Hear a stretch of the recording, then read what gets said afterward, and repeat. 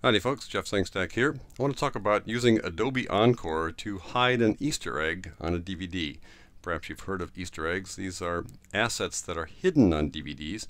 The only way to access them is by finding a hidden button and then clicking on that button to then uh, see that hidden asset. And typically the buttons are not visible, They're, they have no opacity. So to find them, you usually have to navigate amongst several invisible buttons and then hope that you've got to the right place after you've clicked left, right, up, down, or something like that on your remote, and then click enter, and hopefully you'll hit the button that then takes you to the uh, hidden asset, the Easter egg.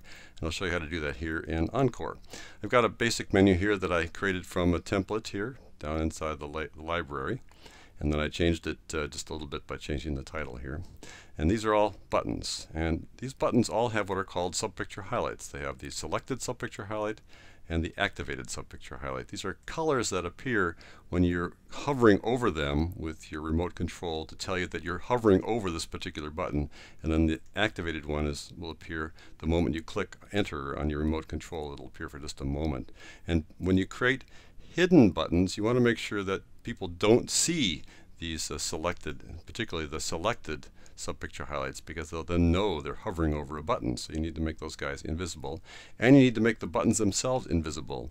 So let me show you basically how to do that along with uh, the navigation that goes along with it. So let me turn this guy off. I need to add some buttons here that we'll use to navigate to the hidden one, the, the one that links to the hidden asset.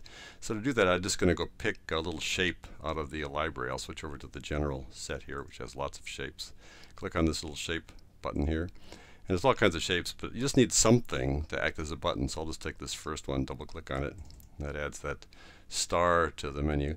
To, add, to move it around, I need to use the direct select tool, not the selection tool, but the direct select, select tool. The selection tool grabs buttons. The direct select tool grabs basically everything else. So I'll click on that and grab this star and move it around. Now it's really big and we don't want our hidden buttons to be big because we don't want them overlapping anywhere or getting in the way of any other buttons.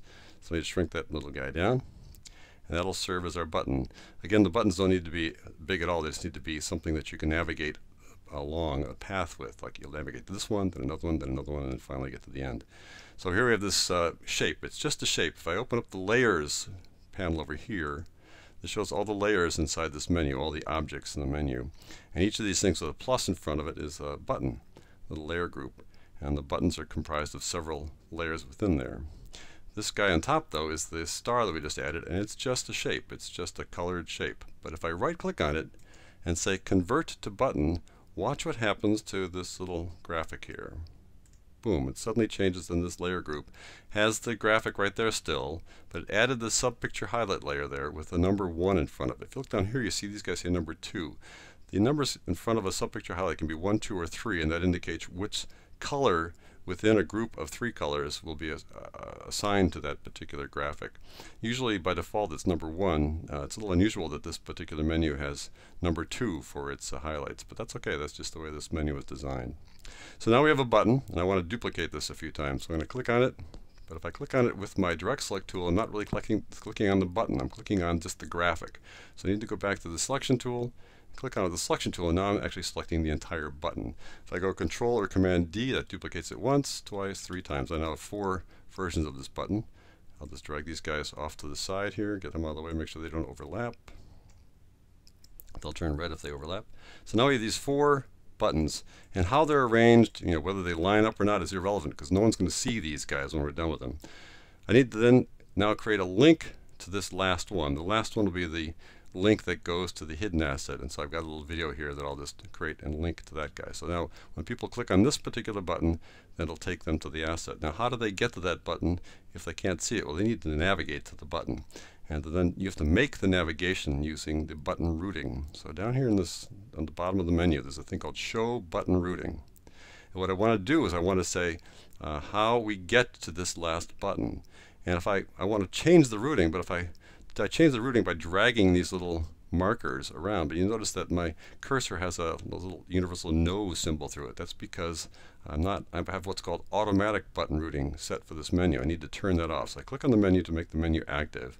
Then I uncheck this little button over in the right hand side. This is automatically route buttons. Turn that off. And now I can route the buttons the way I want them to go. So the way I'm going to get to this guy, and I could get here in any one of many ways, I'm just going to go from, let's say, button number 3 here. That's, that's going to be our starting point to eventually get down to this guy here. Now you notice if you look at the numbers here, the numbers represent, the one in the middle represents the button number, and the ones on the outside represent where you're going to go if you click left, right, or up or down. If you click up, you stay on this button. You click right, you go to button 2. Click left, you go to button 2. Down, you go to button 2. This is the automatic routing. If I click left on the second button, if I click left, it takes me back to this one. Click right, takes me down to the one below. That's, that's the button routing. So let's just say that to get down to button number 6, the first thing we do is by going right. So that means on the remote control, they click the right button, and they click the right button, that'll take them down to button number 6. Now when they're on button number 6, they don't have to go right to get to this next one just because it's next to it to the right. They can click any button that you tell them to to get to this one. So I'm going to have the left remote button take them to button number 7. And the rest of these buttons, if they click up or down or right, I want to have them go back to button number 3. Otherwise they'll get hopelessly lost and I don't want folks to get too lost. So I'm going to grab these other guys and pull them up to button number 3. So if they click right or up or down, then they'll go back to number 3. Number 3's subpicture highlight will be visible. They can tell they're back on button number 3. So now they've gone from number 6 here to number 7. Now they're on 7. How do they get to number 8? Let's have them go up to get to number 8. So drag this guy up to number 8 and every other button will take them back to number three. And this is not like uh, the only way to do Easter egg navigation, but I'm just showing you a way to do it. So to get from three to go to six, they click right. To get from six to go to seven, they go left. To get from seven to go eight, they go up. And to go from eight to nine, let's have them go down to get to nine. And everything else takes them back to three again. All right, so this is kind of this elaborate torturous scheme to get them to 9. And once they're on 9, they need to just click, press the enter button to then uh, play this uh, hidden link, this hidden asset. If they click right, left, up, or down, I want them always to go back to number 3. And so that means, you know, they, if they don't recognize they're on the button and they click left, right, up, or down, they go back to 3 and and it's like, oh, sorry, got to start all over again. So here we are. The navigation now is right, left, up, down. Let's just see how that works. I'm going to preview from here. And this time you're going to see these guys as we go over them, but later you're not going to. So I'm going to hover over this guy to make it the current uh, act, uh, selected highlight. I'll pull my cursor away so I don't have that change. Now I'm going to go to this remote control guy down here. I'm going to go right. That takes me to that button on the left. I'm going to go left. That'll take me to the next button over. I'm going to go up, it'll take me to the next button over, and then I'm going to go down, and that takes me to the last button. If I click the enter button, it'll play the asset. How about that? Let me just show you what happens if I do it incorrectly. I'll preview from here again. I've got this guy highlighted. If I go right, which is the way we want to go, to this one, if I click, let's say, instead of clicking left, I click up, it'll take me back to button number three, and you see how that gets highlighted like that. So always, if we click the wrong direction, we get back to button number three. That's just the way this particular guy is set up. All right, now that we got this all set up, we need to make these buttons invisible. The first order of business is to make the blue uh, the, the, blue color of the main button just go away. And that's really simple. Here are those four buttons that we added. And then you see there's an eyeball next to each blue graphic. Just turn those eyeballs off. And that makes the button itself not visible. I'll turn off the routing and you can't tell there's a button there anymore. But if I click on this on the subpicture highlight, the selected subpicture highlight in particular, there they are. So that needs to be dealt with. We don't want the folks to see the selected subpicture highlight as they go over them. We want to make that disappear too. And the way you do that is by editing what's called the color set, editing the menu color set. Now click on the menu here to make it active. You'll see here's the menu in the uh, properties panel. Down here it says color set menu default. Now, normally by default it's set to automatic, which seems kind of odd if it's called default, right? That would be the it would be set to the automatic color set. And an automatic color set you can't edit. If I go to the menu command, edit menu color set, and choose automatic, you see everything is grayed out here. You can't change any of the colors or the opacities inside the automatic color set. So I'm going to click cancel there. So if you want to make any changes to the colors, the selected highlight colors uh, here inside the menu, you need to change the color set to something other than automatic. So I just click this list, and the only option here is menu default. You can create menu color sets and have a whole list of color sets to choose from, but that goes beyond the scope of this tutorial. So I'm just going to select menu default. Now, Before we go take a look at the color set, let me show you one more thing.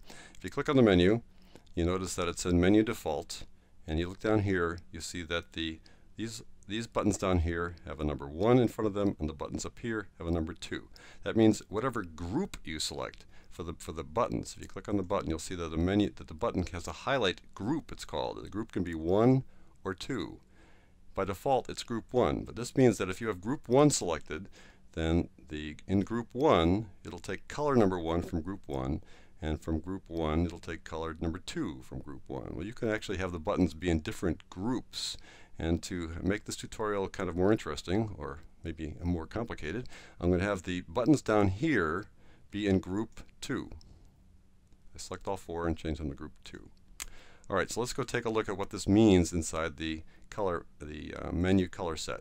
So I open up menu, edit menu color set. Let me drag it out of the way so you can see what's going on. Here's group 1, group 2 for menu default. And remember that I assigned the buttons up here to group 1 and the buttons down here to group 2. I'm going to take a look at uh, the preview here for the selected subpicture highlights. You notice that these guys down here are pink because they are group 2 and they're number 1. These guys here, this kind of yellow-green, that's because they are group 1 and number 2. If I change number 2 here to 100%, you'll see that that is really definitely yellow. And if I change this guy, these guys are number 1 in the highlight group number 2. If I change that to 100%, you'll see that they're definitely pink. What I want to do is make these selected highlight colors, I don't care what the color is, I want to make the opacity 0. Make the opacity 0 means that when they're selected, they will be invisible. As people hover their, their uh, remote control over them, they will not see these buttons. They'll be actually on them, but they won't see them. And when they get to the last one and they click on it, then they'll see its activated state, which looks like this. They're all purple. But the thing is, I don't want even the activated state to be visible because as they're hovering over, let's say, an invisible button, they might click and then they'll see the activated state for a moment. So I want to make the activated state invisible too. So I'll make that zero. But then that's kind of diabolical because they won't even see this last button be activated for a moment. So here's how we're going to deal with it. I'm going to say OK. But on that last button, this one on the very end, which I can't even see now, how do I get to it? Well, I turn on the button routing and I can click on it that way to find it. I'm going to change it from group 2 to group 1. It'll be a different group now. And now I'm going to go back to the menu, the edit menu color set. It's now in group 1 and it is the number 1 over here. See it's, it's number 1 not number 2. So I'm going to change this guy to 100%. You'll see that it gets really red now. Instead of red, let's make it something really ugly and obvious so that we can really tell that we've made, made a change here. There we go. So it's active. Its activated state. When someone clicks on the button, it'll turn purple. So now we've pretty much set this guy up. I'm going to turn off the button routing and turn off the little display of the selected, uh, the activated highlights. And now I'm going to preview this, preview this guy from here. I'll right click, preview from here, and I'll hover over this guy to make it the currently uh, selected button. I'll pull away, and now I'll navigate to the button that's hidden down there. To do that, I go right, and now you don't see anything. If I click, I click on the button, nothing's going to show up because we turned off the display of the activated highlight. Now I go left, and we're actually now over the we're now over the button right about there. Now I'm going to go up. Now we're over the third button that was on the bottom here. And I'm going to go down, and now oh, there it is, and we can see its selected highlight, which I didn't want to happen. So when I click on it, though, let's see if it turns purple. There it goes, and then it plays this video. So one little last thing to fix here. I, I, didn't, I failed to have the selected highlight be set to zero. So I'm going to go back to the menu, edit menu color set, and for number one here, I'll turn on the, so there it is right there. For number one, I'll set this guy to 0%. And now this guy is completely hidden. Just to prove that, we'll go, go through the process one more time. Highlight from, preview from here, highlight over this guy to make it the currently selected one. Now we're going to go right, left, up, down. And when I click enter, we should see a purple flash and then it'll go to our video. There we go. So that, folks, is how you can use hidden buttons and set the navigation such that people need to kind of manipulate around with their remote control to find that little hidden Easter egg using Encore.